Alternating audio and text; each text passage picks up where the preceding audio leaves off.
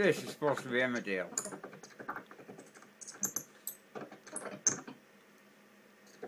Channel 4.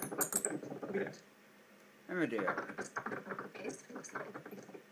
BBC, perfectly okay. All the things that we have. Right. I tend to be alright to want to watch BBC, but I don't. I don't watch Emmerdale. Which I'm getting shit nothing.